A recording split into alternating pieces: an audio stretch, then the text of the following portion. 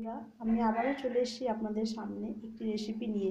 তো আজকে আমার রেসিপি হলো মুসুরির ডাল, পালং শাক দিয়ে। তা আমি কীভাবে করছি আপনারা দেখুন। এই জল বসিয়ে দিয়েছি এই মুসুরি ডালটা সেদ্ধ করার জন্য। তো এখানে জল গরমও হয়ে গেছে, এবার ধুয়ে রাখা ডালটা আমি দিয়ে দেবো।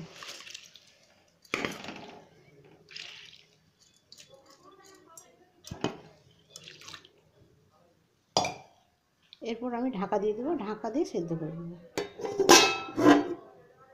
করা হয়ে গেছে। এখানে আমি কড়াই বসিয়ে কড়াইয়ে তেলও দিয়ে দিয়েছি।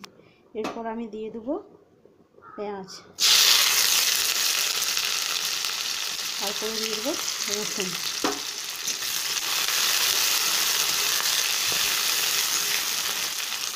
লালচে কালার চলে এসছে। এরপরে আমি দিয়ে দেবো একটু আদা কুচি। আর সাথে সাথে দিয়ে দেবো লঙ্কা কুচি। আর একটু নেড়ে নেব। একটু লঙ্কাটা ভাজা হোক, তারপরে শাকটা দিয়ে দেবো। ভাজা ভাজা হয়ে গেছে। এরপর আমি পালং শাক কেটে ধুয়ে রেখেছিলাম আগে থেকে, এটা দিয়ে দেবো।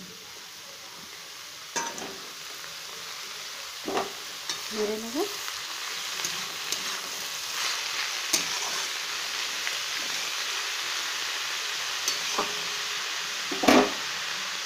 একটু ঢাকা দিয়ে দেবো।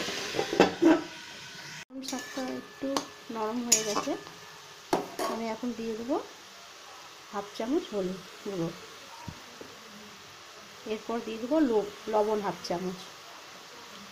সাথে দিয়ে দেবো একটু গুঁড়ো লঙ্কা। এক চিমটি দিলাম। তারপরে দিয়ে দেবো টমেটোর কুচি। একটু নেড়ে নেব হয়ে এসছে আমি দিয়ে দেবো, এরপরে ডাল। ডাল সেদ্ধ করে রেখেছিলাম। দিয়ে দেবো মুসুর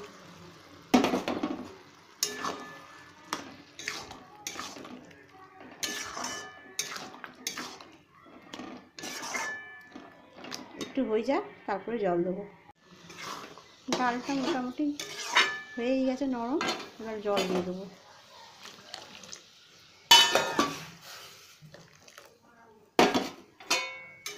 এবার ফুটে গেলে আমি সম্বরা দিয়ে নামিয়ে নেব। ডাল ফুটে গেছে। এবার ডালটা আমি সম্বরা দিয়ে দেবো।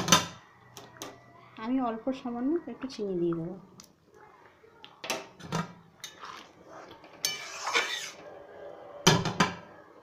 এবার আমি ডালটা নামিয়ে নেব। কড়াই বসিয়ে দিয়েছি ধুয়ে, আর এখানে আমি সামান্য এক চামচের মতন ঘি দিয়ে দিয়েছি। তো ঘিটা গরম হয়ে গেছে। আমি এবার দিয়ে দেবো শুকনো লঙ্কা। শুকনো লঙ্কাটা একটু লালচে হয়ে যাক, তারপরে আমি সময় দিয়ে দেবো হিং।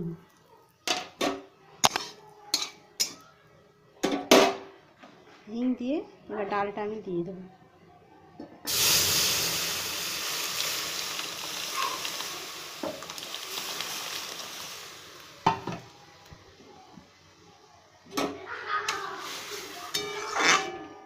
এবার ডালটা একটু ফুটে গেলে আমি নামিয়ে নেব। ডাল দিয়ে হয়ে গেছে আমি কড়াই থেকে একটা পাত্রই ঢেলে নিয়েছি। তো দেখুন কেমন হয়েছে। যদি আমার ভিডিও ভালো লেগে থাকে, অবশ্যই আপনার পাশে থাকবে। লাইক করবেন, শেয়ার করবেন।